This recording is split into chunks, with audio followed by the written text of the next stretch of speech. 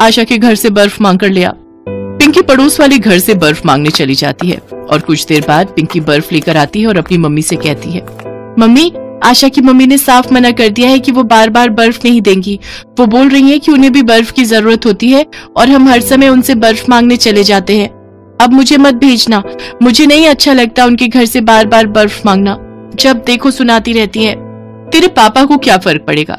एक माँ जी है, जब देखो उनके रिश्तेदार आए बैठे रहते हैं, उनके लिए ठंडे शरबत बनाओ। और ये नहीं पता कि बर्फ़ मांग कर लानी पड़ती है, वो तो हुक्म चला देती है। बेटा, तू क्या? मैं ही तुझे पड़ोस में नहीं भेजूँगी। हमारी अपनी भी कोई इज़्ज़त है, कोई ज़रूरत नहीं है मांगने जाने की। जब से पड़ोस वाली आशा की माँ ने बर्फ़ के लिए सुनाया था, वर्षा ने पिंकी और मोहित को बर्फ़ लेने जाने के लिए मना कर दिया। रात को जब सब खाना खाने बैठते तो ठंडे पानी की प्यास में गर्म पानी पीकर गुजारा करते। क्या हुआ बहू? आज आशा के घर से बर्फ़ नहीं मंगवाई, पानी तो बड़ा गर्म है। नहीं माँ जी अब आशा की मम्मी ने सुनाना शुरू कर दिया है। मैं बच्चों को वहाँ नहीं भेजूँगी। अब आप गर्म पानी पीकर ही गुजारा करो। भरी गर्मी के दिनों में बिना फ्रिज के गुजारा करना अब वर्षा को बहुत ही परेशान कर रहा था। वर्षा का पुराना फ्रिज दो साल पहले ही पूरी तरह से खराब होकर कबाड़ी को बेचा जा चुका था। इसलिए पिछले साल भी जैसे तैसे सबने बिना फ्रिज के गुजारा किया। पर इस साल तो गर्मी शुरुआत से ही भयंकर पड़ने लगी। तो बिना फ्रिज के गुजारा बहुत मुश्किल हो रहा था। दिनेश घरों में पुताई का काम करता था, पर काफ़ी समय से पेंट का काम बहुत कम मिल रहा था। इस कारण वो फ्रिज के लिए पैसे नहीं जोड़ पा रहा था। एक दिन वर्षा बाज़ार से लौट रही थी। तभी उसकी नज़र एक पुराने सामान की दुकान पर पड़ी, जहाँ दुकान के बाहर एक लकड़ी का पुराना फ्रिज रखा हुआ था। वर्षा दुकानदार से बोली, भैया, ये लकड़ी का फ्रिज कितने का दोगे? बहन जी, पाँच सौ रूपए का दूँगा। पर गारंटी कोई नहीं चले न चले। पाँच सौ तो बहुत ज़्यादा है भैया। मेरे पास तीन सौ है। अगर तीन सौ में दे दो तो मैं ले लूँगी। ठीक है बहन जी। वैसे भी मेरे तो ये किसी काम का ही नहीं है। ले जाओ वर्षा दुकानदार को तीन सौ रूपए देती है और वो लकड़ी का फ्रिज घर लेकर आ जाती है। लकड़ी का फ्रिज देखकर उसकी सास और पति दोनों बातें बनाने लगते हैं। अरे बहू भला ये लकड़ी का फ्रिज भी कोई काम करेगा? बेकार में ही तू पैसे खराब करके आ गई। दुकानदार ने तुझे पागल बना दिया। कल ही छह सौ रूपए बचा कर दिए थे। उसमें से तीन सौ रूपए तुम इस लकड़ी के फ्रिज पर खराब कराई। तुम तो ये समझ रही हो कि लकड़ी का ये फ्रिज बढ़िया फ्रिज की तरह चलने लगेगा और हमें ठंडा ठंडा पानी पीने को मिलेगा। अरे, बेवकूफ़ बना दिया उस दुकानदार ने तुम्हें, है? वर्षा थोड़ा सा तो चिंता में आ जाती है कि कहीं उसने सचमुच कोई गलती तो नहीं कर दी। पर फिर भी वो उस लकड़ी के फ्रिज को साफ़ करके उसमें सामान रख देती है। पिंकी और मोहित बार बार फ्रिज को खोलकर देख रहे थे, पर फ्रिज था कि ठंडा हो ही नहीं रहा था। अब तो सचमुच वर्षा भी घबराने लगी। मम्मी इस फ्रिज में तो पानी बिल्कुल भी ठंडा नहीं हुआ। कितनी देर का रखा हुआ है? मम्मी फ्रिज नहीं चल रहा। तुम बेकार ही खरीद कर लाई हो ये फ्रिज। बिल्कुल खराब है ये तो। हे भगवान मैं तो बहुत मन से ये फ्रिज खरीद कर लाई थी ताकि बच्चों को माँ जी को इनको सबको गर्मियों में ठंडा पानी ठंडी बर्फ़ मिल सके। मैंने तो इन सब के बारे में अच्छा ही सोचा था पर मुझे क्या पता था कि ये लकड़ी का फ्रिज सिर्फ़ नाम का है। एक डिब्बा है जो बढ़िया फ्रिज की तरह नहीं चल सकता। सचमुच, मैं भी मैं भी कितनी पागल हूँ। वर्षा की आँखों में आँसू आ जाते हैं। वो फ्रिज के दरवाजे को बंद कर देती है। तभी पड़ोसन आशा की माँ आ जाती है और वो लकड़ी के फ्रिज को देखकर ज़ोर से हंसती है। लकड़ी का फ्रिज? वर्षा, जरा इस लकड़ी के फ्रिज की बर्फ़ तो देना। मैं भी इस्तेमाल करके देखूँ। आशा कह रही थी कि तुमने नया फ्रिज खरीदा है। मुझे तो लगा, पता नहीं राम जाने कौन सी बढ़िया कंपनी का खरीदा है। पर तुमने तो ये सस्ता सा लकड़ी का फ्रिज मुझे तो हँसी आ रही है। ये खरीदा है।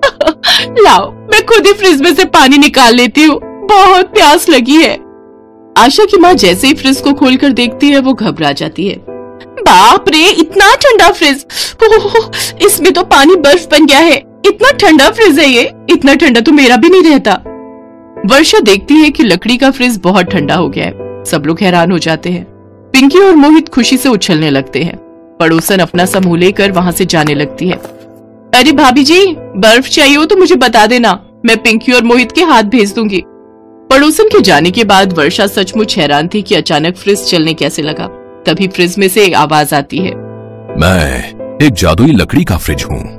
मैं सिर्फ़ उनके ही काम आता हूँ, जिन्हें मेरी ज़रूरत होती है। तुम्हें मेरी बहुत ज़रूरत थी, इसलिए अब मैं हमेशा चालू रहूँगा, और मेरी ठंडक हमेशा बनी रहेगी। तुम आराम से अब मेरा उपयोग कर सकते हो। लकड़ी के फ्रिज की बातें सुनकर वर्षा बहुत खुश हो जाती है। फ्रिज के जादू से मिनटों में पानी ठंडा हो जाता था और बर्फ़ भी जम जाती थी। अब बनाई हुई खाने पीने की चीज़ें भी खराब नहीं होती थी। वर्षा और उसका परिवार पूरी गर्मियाँ आराम से उस जादुई फ्रिज का आनंद लेते रहे।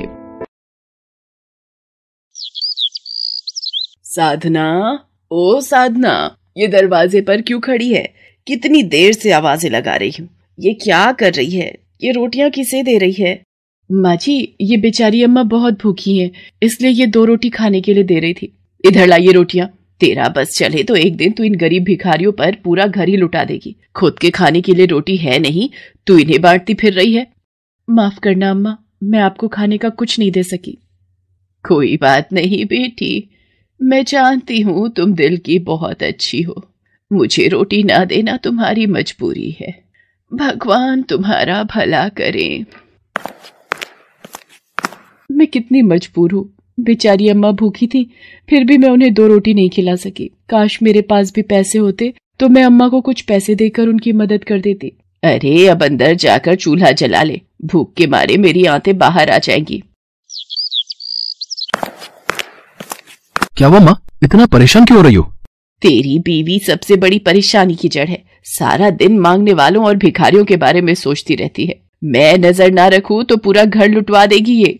देख सुबोध। इसे साफ़ मना कर दे। अगर इसने एक भी चीज़ किसी मांगने वाले को दान की तो मुझसे बुरा कोई नहीं होगा। ठीक है माँ मैं साधना को समझा दूँगा। अब तुम भी इतना गुस्सा मत करो वरना बीमार पड़ जाओगी। सुबोध अपने कमरे में आ जाता है। क्या हुआ? आप कुछ परेशान दिखाई पड़ रहे हो? कहीं आप भी तो माँ जी की तरह मुझे गलत नहीं समझ रहे। नहीं नहीं साधना मैं तो काम को लेकर परेशान हो रहा हूँ। समझ ही नहीं आ रहा थोड़ी बहुत मजदूरी से कमाई कहाँ से होगी? आप चिंता मत करो सब ठीक हो जाएगा। अब आप सो जाओ मैं थोड़ी देर में रसोई समेट कर आती हूँ। काम की चिंता में ये कितने परेशान रहने लगे हैं। काश मैं कुछ कर पाती। अगले दिन सुबोध किसी काम से दो दिन के लिए दूसरे गाँव गया हुआ था। साधना रोज़ाना की तरह ही खाना बना रही थी। बाबा को भिक्षा दो बेटी। आज महा एकादशी का दिन है। माँ जी आज बड़ी एकादशी है। साधु बाबा को कुछ खाने का दान कर दूँ? तू फिर शुरू हो गई। कितनी बार तुझे मना किया है मुझे ये फालतू का दान पुण्य करना अच्छा नहीं लगता। तू अपने मायके से एक फूटी कौड़ी भी नहीं लाई थी। अपने बेटे की किसी अमीर लड़की से शादी करती तो आज हम भी पैसे वाले होते। बेटी दान करने और दूसरों की मदद करने से व्यक्ति के जीवन के सारे दुख दूर हो जाते हैं। ये बेफिजूल का पाठ मेरी बहू को पढ़ाने की ज़रूरत नहीं है। मैंने एक बार मना कर दिया।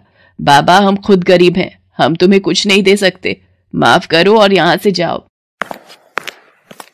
माँ जी थोड़ा सा किसी को कुछ देने से आपका क्या बिगड़ जाता? मैं अपने हिस्से की रोटी उन बाबा को दे दूँगी। आप परेशान मत हो।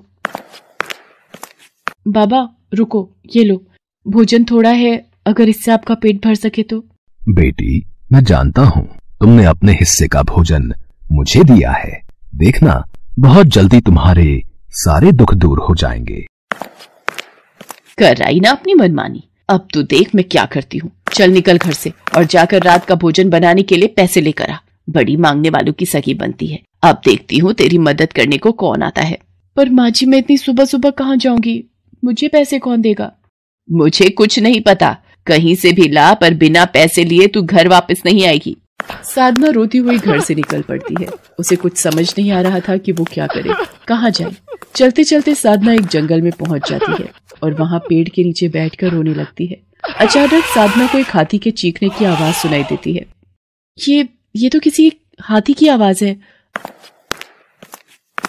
आवाज़ तो उस तालाब में से आ रही है।